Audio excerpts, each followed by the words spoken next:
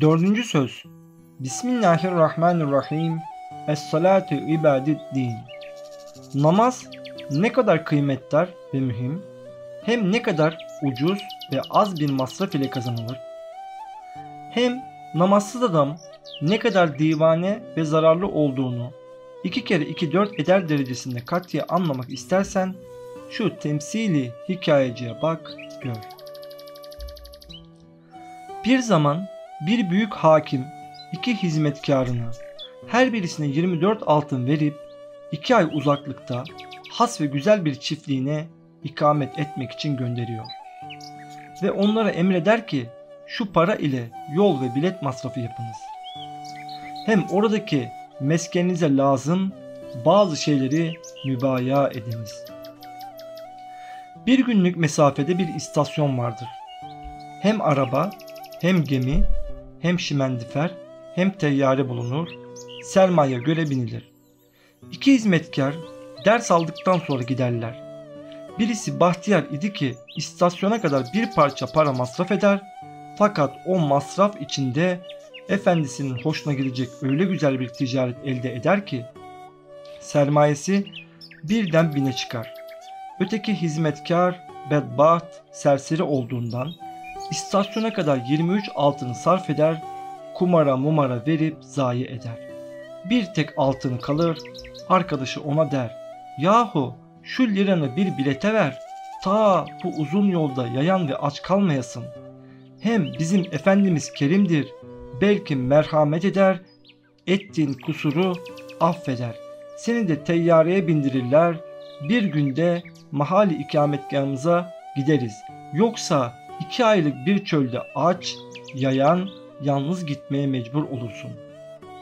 Acaba şu adam inat edip o tek lirasını bir define anahtarı hükmünde olan bir bilete vermeyip muvakkat bir lezzet için sefahete sarf etse gayet akılsız, zararlı, bedbaht olduğunu en akılsız adam dahi anlamaz mı?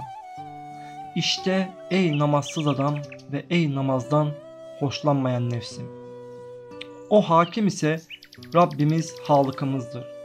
O iki hizmetkar yolcu ise biri mütedeyyin namazını şevk ile kılar, diğeri gafil namazsız insanlardır. O 24 altın ise 24 saat her gündeki ömürdür. O has çiftlik ise cennettir. O istasyon ise kabirdir. O seyahat ise kabre, haşre, ebede gidecek beşer yolculuğudur. Amele göre, takva kuvvetine göre o uzun yolu mütevafit derecede kat ederler. Bir kısım ehli takva berk gibi bin senelik yolu bir günde keser, bir kısmı da hayal gibi elli bin senelik bir mesafeyi bir günde kat eder. Kur'an-ı Azimüşşan şu hakikate iki ayetiyle işaret eder. O bilet ise namazdır. Bir tek saat, beş vakit namaza abdeste kafi gelir.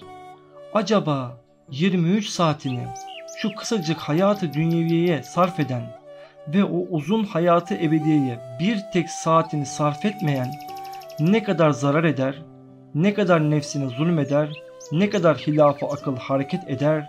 Zira bin adamın iştirak ettiği bir piyango kumarına yarım alını vermek akıl kabul ederse halbuki kazanç ihtimali binde birdir.